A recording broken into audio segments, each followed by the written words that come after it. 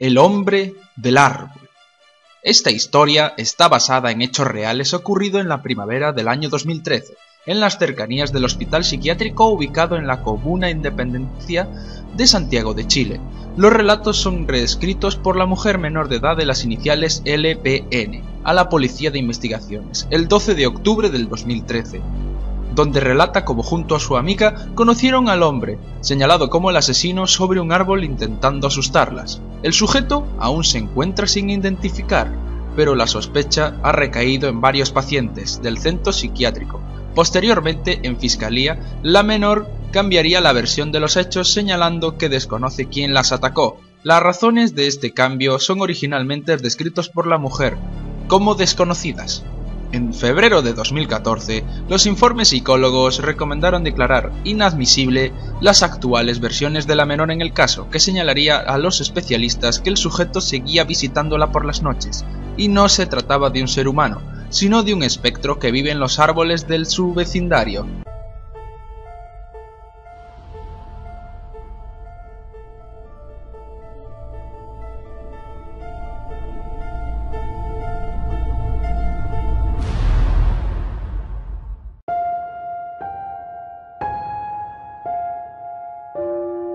Luna e Isabel caminan rápidamente por la calle. Es una noche fría y son cerca de las 3 de la madrugada.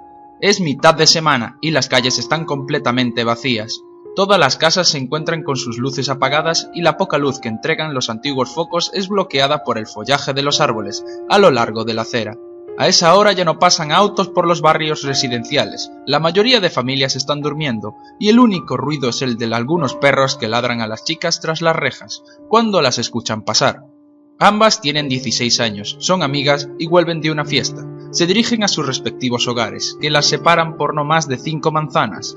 Ninguna obtuvo el permiso para salir esa noche, sin embargo los padres de Luna no se encuentran en casa, Solo está Juan, su hermano de 10 años. Por otro lado, Isabel ha salido varias veces por las noches sin que sea descubierta. Aunque ambas van riendo, Luna está preocupada por su hermano. Se supone que debería estar cuidándolo. Si descubre que ella no está en casa, le contará a sus padres y la meterá en graves problemas. Isabel, por su parte, está muy contenta. Le cuenta del chico con el que bailó y que desea volver a verlo. Piensa perder la virginidad con él. El buen ánimo de Isabel tranquiliza a Luna, Ambas chicas van por las oscuras calles riendo y conversando. Luna no se dio cuenta en qué momento pasó todo, en qué momento reían debido a que Isabeli había tropezado por un desnivel del camino. La oscuridad del lugar había aportado lo suyo. Luna pensaba que alguien debería podar los árboles del vedario, ya que tapaban las luces de la calle y dificultaba ver. Entonces sintió como alguien le levantó un mechón de pelo suavemente y una risa extraña salió desde el árbol por el que pasaban. Al instante su amiga gritó y exclamó ¡Puta madre! Cuando Ana miró hacia arriba se detuvo en los ojos saltones del sujeto. Las sombras confundían su rostro con el follaje, pero se dio cuenta de que estaba sonriendo. Es, es en esos pocos segundos distinguió la silueta del hombre encamarado en una rama gruesa del árbol, y luego ambas empezaron a correr. Con los gritos y pasos precipitados de las chicas, los perros de toda la manzana comenzaron a ladrar, más de algún vecino identificó los gritos de las chicas, deseando irónicamente que alguien las callara para poder seguir durmiendo. Por esas calles nunca habían ocurrido hechos delictivos y nadie prestó atención a los gritos. Las chicas no pararon de correr y Ana no quería mirar atrás, imaginando que esa cosa las perseguía. Estaban solas en la oscuridad del barrio y sus familias no sabían que estaban ahí. Avanzaron sin hablar por varias manzanas y doblaron por la calle que conducía a la casa de Isabel, entonces se detuvieron en el pórtico de la casa. Ambas estaban exhaustas y se tuvieron que dar unos segundos de descanso para poder volver a hablar. Ana tenía mucho miedo, y el estar detenidas le atemorizaba aún más. Sin embargo, Isabel estaba riendo. Era una risa forzada y llena de cansancio, no comprendía la actitud inquietante de su amiga. Esta le contó que el hombre no la seguía, ya que nunca bajó del árbol. Ana sonríe falsamente y le comenta que, de todas formas, no se atreve a caminar sola a las, cinco manzanas que separan su casa. Isabel le dice que no puede acompañarla ya que sus padres deben verla por la mañana en su habitación. Trata de calmar a Ana y se le ocurre una idea. Le dice que se quedará en el pórtico y estará comunicada con ella por celular en todo el trayecto hacia su casa. Ana sabe que no Debe perder tiempo. Si el hombre del árbol las está buscando en cualquier momento podría aparecer. Se arma de valor y se despide de su amiga Isabel. Ambas están comunicadas por teléfono. Ana comienza a caminar rápidamente. Ya no puede correr, está muy cansada. Dobla en la esquina y verifica que su amiga está en el fondo. Isabel le dice que no hay problema, que estará con ella hablando todo el camino. Le comenta que sigue en el pórtico y que no ha visto al sujeto pasar por esos lados. Ana camina nerviosa por las calles. Parecieran estar mucho más oscuros y frías que antes. Ya no va por la acera, sino que bordeando la pista de los autos. No se atreve a pasar bajo los árboles. Su amiga Isabel continúa tranquilizándola hasta que la comunicación se corta de golpe. A Ana le invade un miedo. Está en mitad del camino y no sabe lo que ocurrió. Entonces piensa lo peor. Piensa que esa cosa atrapó a su amiga. Se detiene e intenta desesperadamente llamarla, pero nadie contesta. Y por la mente de Ana se abre la posibilidad de volver a auxiliarla. La idea toma más fuerza y decide volver, pero esta vez lo hace corriendo. No tiene ningún plan, pero sabe que en algún momento deberá gritar por ayuda. Seguramente cuando vea cómo es el psicópata del árbol intente raptar a su amiga. En poco tiempo se encuentra de regreso en el punto de donde se separó de Isabel. Al no verla, fuera, al verla fuera de su casa decide volverla a llamar. Entonces observa en su celular un mensaje de texto de Isabel que decía Mi madre me atrapó, hablamos en diez minutos. Ana había perdido cerca de cinco minutos en ir y volver para nada. La rabia se apoderó de ella. Había tomado una decisión estúpida. Tenía frío, miedo y se encontraba sola. Por momentos, el enojo que sentía hacia ella fue mayor al que sentía por el psicópata de las calles. De camino a casa fue decidiendo y diciendo improperios y prometiendo que nunca más arriesgaría su vida por alguien. Sin embargo, siguió su camino bordeando las pistas de autos. Los árboles en la acera le dan miedo, solo faltan tres calles para llegar a su casa y Ana se siente aliviada. Un auto dobla por la calle por donde ella camina, y si bien este no va a alta velocidad, Ana decide subirse a la acera. No distingue bien quiénes van dentro del auto, pero reconoce a una pareja joven. Al ver cómo el auto se pierde en la distancia, piensa en volver al borde de la pista, pero ya no siente tanto miedo por la oscuridad del camino. Sin mirar los árboles que le cubren, a lo alto con hojas y ramas mantiene su mirada recta hacia el fin de la calle. La cercanía del hogar la mantiene decidida a seguir su camino sin vacilaciones. Entonces, un dolor punzante en el cuero cabelludo la hizo gritar, mientras sus pies se separaban del camino. Un hombre que reía de forma extraña la intentaba levantar desde la oscuridad. No fueron más de tres segundos, pero Luna sintió ese momento como una pesadilla interminable. Cuando los dedos largos soltaron su cabello, Ana cayó al suelo e inmediatamente corrió al final de la manzana.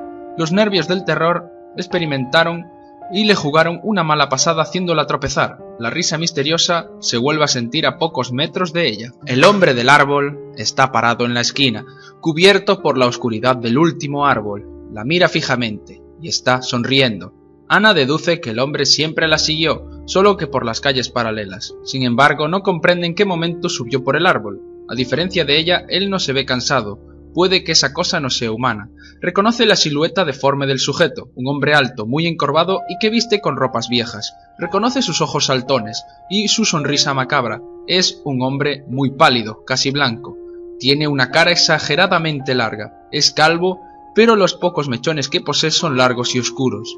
Es un hombre feo, de aspecto extraño y enfermizo. Ana se petrificó del miedo. No podía gritar ni moverse. El hombre sujetaba un pájaro entre sus manos que protegía con gran cuidado. Mientras miraba a Ana fijamente, ella invadida por el terror pregunta ¿Qué quieres? Sin embargo, su voz es débil y quebradiza. No es capaz de repetir la pregunta, no quiere que esa cosa la mate. Entonces el hombre arroja el pájaro con mucha fuerza hacia el aire, asustando a Ana pero también liberándola de su paralización. Ahora, Ana aprovecha la atención que el sujeto le está dando al ave para salir corriendo. Solo escuchó al pájaro caer violentamente al suelo, y avanza al otro extremo de la manzana y se da cuenta de que el sujeto no la persigue, no escucha sus pasos ni su risa macabra. Antes de doblar en la esquina y conduce a casa se voltea para ver dónde está el hombre. La escena es extraña, pero en parte tranquilizadora. El hombre sigue parado en la esquina mirándola fijamente. No se movió nunca del lugar, está con el ave nuevamente en manos, y con la misma sonrisa. El hombre vuelve a tirar al pájaro a los aires. Esta vez Ana corre con más fuerzas, sin mirar atrás, hasta llegar a su casa. Abre las puertas desesperadamente como si en cualquier momento pudiera volver a escuchar la risa diabólica de aquel hombre. Ya dentro, la escena confunde a la chica, se siente e intenta calmar su respiración, reflexiona rápidamente lo sucedido y concluye que el hombre seguramente es un enfermo mental. Le tomó el del pelo porque estaba intentando jugar o llamar su atención. El hombre quería que ella lo ayudara con el ave. Debe tranquilizarse e intentar dormir. Ahora está sana y salva en su casa. Ana manda un mensaje de texto contándole lo sucedido a Isabel y va al segundo piso de la casa donde verifica que su hermanito está durmiendo. Se dirige a su alcoba y mira por la ventana tratando de buscar al sujeto en la calle. Sin éxito, el miedo de Ana cada vez es menor. Incluso recuerda la escena del pájaro con humor. Piensa que, por la mañana, ambas chicas estarán riendo de todo lo que había sucedido. Decide acostarse a dormir cuando su móvil comienza a sonar. Es Isabel, y esta vez ella no suena tranquila, al contrario, percibe terror en su tono. Isabel le cuenta que el hombre del árbol está fuera de su casa y no deja de mirarla por la ventana. Ana le dice que no tema. Es un hombre enfermo pero inofensivo. Isabel tiene mucho miedo. Le cuenta que tiene la luz apagada. Su alcoba está completamente oscura y las cortinas están cerradas. Sin embargo, por el espacio de unos dos centímetros que divide las cortinas puedes ver como el hombre la mira fijamente desde la calle. Ya lleva más de 20 minutos ahí quieto con el ave entre las manos. ¿Cómo sabe la chica que la observa si su alcoba está oscura? Para Isabel, la escena es más bien paranormal, y la tiene intranquila. Ana le dice que avise a su padre. Sin embargo, Isabel le cuenta que sus padres la descubrieron y amonestaron fuertemente por salir de casa. No se atreve a enfrentarlos otra vez. Por suerte, el tipo comienza a moverse y se aleja. Ana la calma y le dice que no tema, es solo un loco. Ya es muy tarde y ambas chicas se despiden, pero Isabel no quedó tranquila. Ana ya tiene mucho sueño, son cerca de las 4 de la madrugada e intenta dormir. No sabe cuánto tiempo pasó, cuando su hermano la comenzó a gritar a algo desde la habitación contigua. Parece que llegó mamá, sentí que llegó mamá, Ana despierta. Ana tenía mucho sueño y no procesó lo que el hermano le decía, solo miró el reloj y vio la hora, las 4.24 de la mañana cuando entonces le respondió enojada de que se durmiera y de que no gritara, pues podía despertar a los vecinos. Terminó diciéndole que su madre llegaría mañana temprano y que no molestara más. Ana se volvió a quedar dormida rápidamente. Lo que la despertó de forma tan violenta fue el chillido de la puerta al abrirse a sus espaldas. Los pocos segundos en que esto ocurrió bastaron para que ella despertara completamente e identificaba que corría peligro. Lo primero que sintió fueron los escalofríos recorrer su espalda. A medida que la puerta se abría, Ana tensaba todos los músculos. Sus ojos se abrieron completamente y su corazón empezó a palpitar como lo hacía horas atrás. Sentía que estaba momificada, ya que no se atrevió a hacer nada. No tenía sentido que lo supiera, pero ella sabía que no era su hermano el que se acercaba. Quizá los pocos minutos que pudo dormir, las pesadillas con el hombre del árbol la prepararon para este momento, porque su reacción se asemejó más bien a un acto de supervivencia. Su cuerpo, cargado de adrenalina, no movía un pelo, estaba tan dura como un ladrillo. En esos segundos miles de cosas pasaban por su cabeza. Esperaba con ansias que su hermano lo dijera. Ana, despierta, creo que llegó mamá. Ahora, lo anteriormente dicho por su hermano tenía sentido. No había llegado mamá, había llegado el hombre del árbol, el hombre del pájaro. Era un hombre extraño, pero si es capaz de entrar a tu casa sin autorización, quizás es capaz de cualquier cosa. El corazón de Ana latía de manera dolorosa. Nunca había sido tan perceptiva a lo que sucedía a su alrededor. Ana sentía que sus sentidos funcionaban como nunca antes. Era capaz de escuchar todo, cada paso del psicópata, hacia su cama. Podría oler las ropas viejas, sentir el frío de su presencia, pero no lo podía ver porque estaba a sus espaldas. Y, además, Ana no lo quería ver aunque sus ojos estuvieran abiertos como nunca antes. Ella no era consciente de las acciones reflejos que tomaría su cuerpo esperando que el monstruo diera el golpe. Cuando la criatura del árbol atacara, el cuerpo estaría tan cargado de energía y adrenalina que podría responder con otro golpe o un salto inesperado, que le permitiera escapar de una muerte misteriosa. Pero mientras eso no sucediera, el cuerpo de Ana no se movería. Su subconsciente lo tenía claro. Hay que hacerle creer al asesino que tú no te has dado cuenta de su presencia. El psicópata aún puede arrepentirse de matarte, mejor no provocarlo. Ana confirmó sus peores miedos cuando pudo observar en las sombras que daban a sus ojos cómo se dibujaba la figura de un hombre muy alto, con extremidades largas y postura encorvada. Sintió como un pinchazo en el corazón la risa enfermiza del hombre, pero en voz baja, intentando pasar desapercibido. Los músculos lograron la máxima tensión cuando sintió que la criatura se acostaba a su lado. El peso de la criatura sobre la cama provocó que el cuerpo de Ana se acercara a su verdugo en esos momentos, Ana inhalaba el oxígeno, todo el oxígeno que sus pulmones podían contener. pero no era capaz de botar el aire. Tenía miedo de que el asesino identificara el terror de una respiración violenta. Así que él aguantó el oxígeno de sus pulmones, lo que más pudo, intentando echar el aire de poco a poco. A Ana le hubiera gustado desmayarse, eso le hubiera sido bueno, pensaba.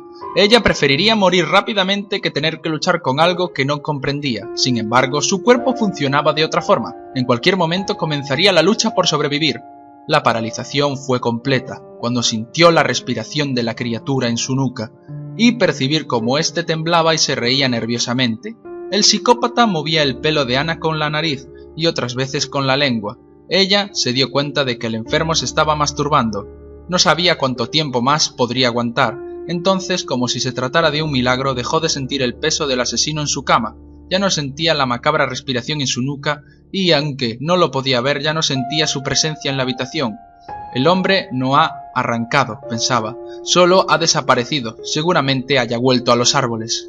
Ella no se movió, mantuvo esa posición toda la noche y parte de la mañana. Si bien sus músculos dejaron de estar tan tensos, se mantuvo alerta todas esas horas sin voltear en ningún momento. Cerca de las nueve de la mañana, escuchó cómo su hermano se levantó y se dirigía hacia ella. Cuando el hermano gritó de miedo en la puerta de su habitación, ella dio el salto que no esperaba dar en toda esa terrorífica noche.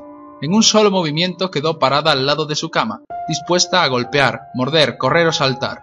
Ella debía salvar a su hermano y luego debía escapar. Pero la escena que observó, para suerte de ambos, fue otra. Su hermano señalaba un pájaro muerto en medio de la habitación, Ana se dio cuenta de que había manchas de sangre por todos lados. Abrazó al niño y le dijo que no saliera de su habitación. Entonces escuchó el estacionar de un auto fuera de su casa, pensando que eran sus padres. Se asomó a la ventana y se sorprendió al ver al auto de la policía. Desde la ventana le gritó a los oficiales que les ayudaran y que había un hombre en su casa. Entonces observó cómo otros tres vehículos policiales llegaron a su casa. Los oficiales, al bajar de sus autos, se veían exaltados, muy preocupados y tenían las armas en manos. También vienen a ayudarme, pensó Ana, no entendió qué está pasando, pero de repente todo adquiere más sentido. Algo malo había ocurrido y las pistas llevaban a su casa.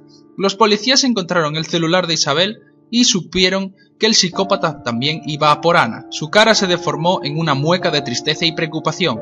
Ana no debería saberlo, pero estaba segura de que la tragedia que posteriormente le confirmarían en la comisaría, la sangre que había en su alcoba no pertenecía solo al ave, era demasiada sangre para un pájaro pequeño. El hombre del árbol, el hombre del pájaro, ese hombre, antes de visitarla, mató a Isabel y a toda su familia, seguramente porque ellos no supieron quedarse en silencio,